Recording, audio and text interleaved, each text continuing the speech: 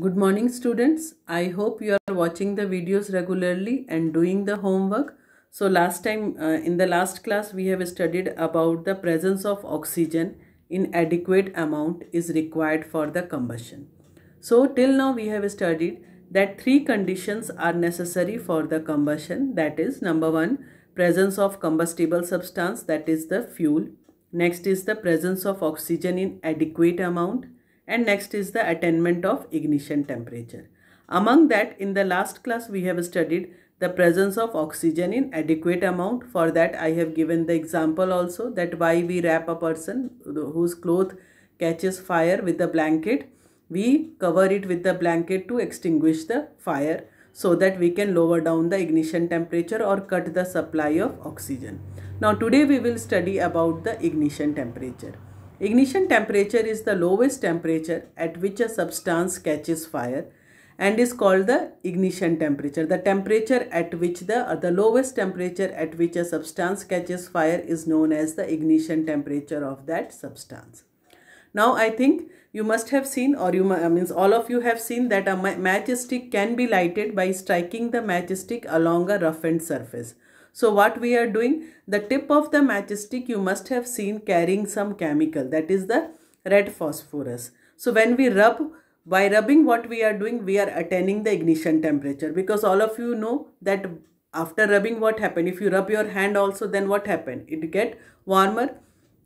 Same way when you rub the matchstick, what happened then? The friction is being formed that causes the warmth there and due to that what happened the matchstick attained the ignition temperature and catches fire plus the wood that is being attached to the matchstick is also made up of a special wood that burns in that temperature only in which it catches fire that is why now uh, the matchstick can be lighted by striking the matchstick along a roughened surface. Now I think you must have understood that why rubbing is necessary for the matchstick to be lighted.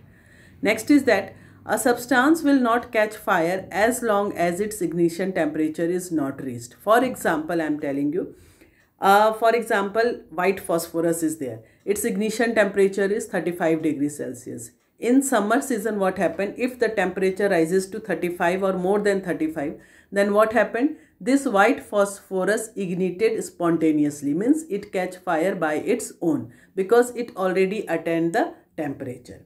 Same way, for example, a substance is there whose ignition temperature is 42 degrees Celsius or you can say 55 degrees Celsius.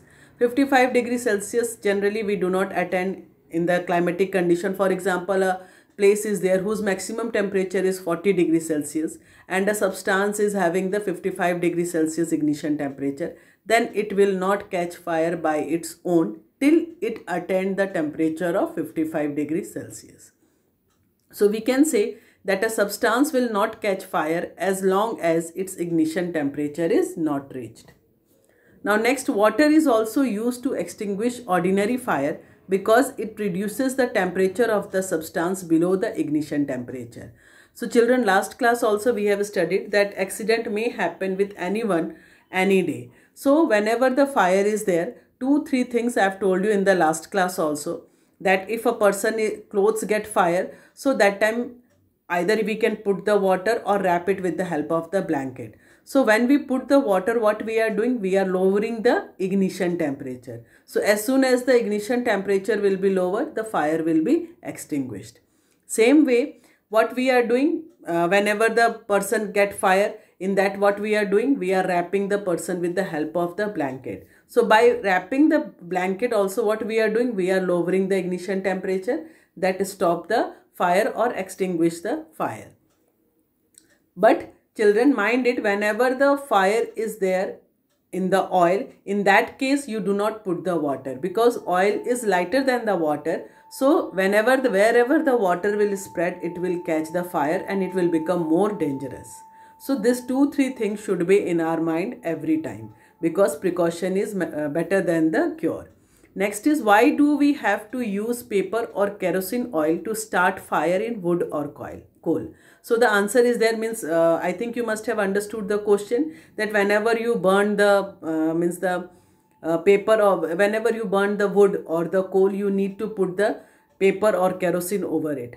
Now why? Because the ignition temperature of wood or the coal is quite high and that cannot be attained by using a lighted matchstick.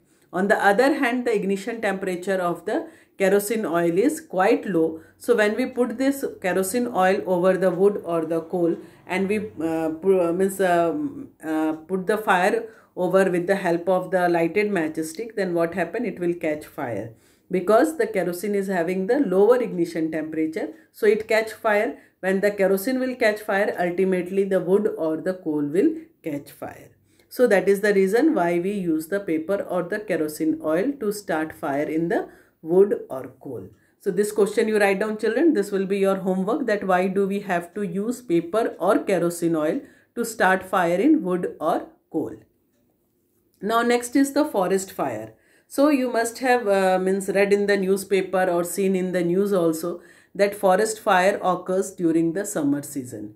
So the reason behind is that in the summer season what happened? The grasses or the leaves dries. And when they dry when the air is there they rub each other and there is the friction. As the temperature uh, means in the uh, the normal temperature is high so it attained the ignition temperature very easily. The rough surface of that uh, means the uh, dried leaf or the grasses when they rub each other with the help of the air the friction is being developed and they attain the ignition temperature and fire take place. Soon it cover the whole forest.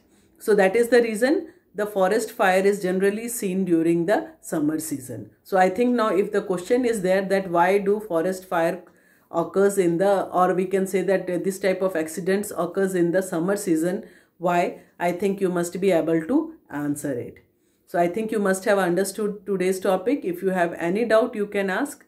Thank you.